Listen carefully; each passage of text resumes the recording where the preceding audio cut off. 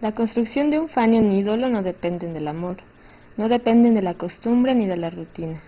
Dependen de la fantasía que les hace pensar el uno al otro que pueden ser el único escaparate que los funda con la realidad. La fantasía de verse y de construirse a sí mismos como la pantalla, que además de conectarlos también los anima a configurarse en la memoria del olvido y de la moda que cansa y envejece.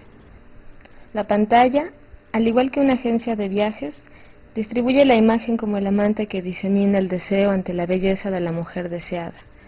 Los colores y las figuras dibujan la ansiedad del individuo por apropiarse de aquello que es prácticamente lejano, pero que tiene la potencialidad de formar parte de él mismo.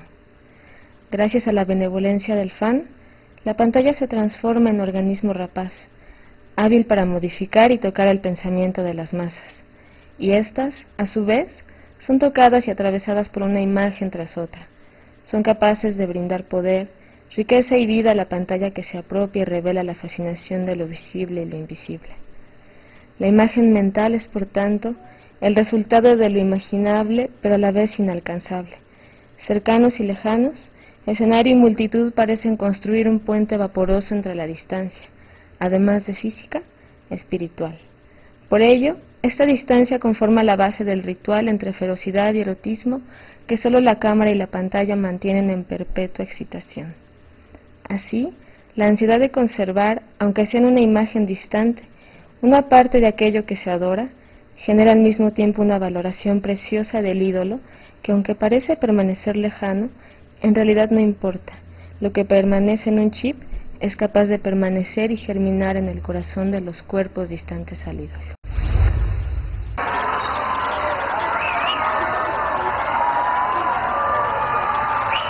¿Tuviste con Paul McCartney? Estuve con Paul, sí, la verdad que no puedo creer.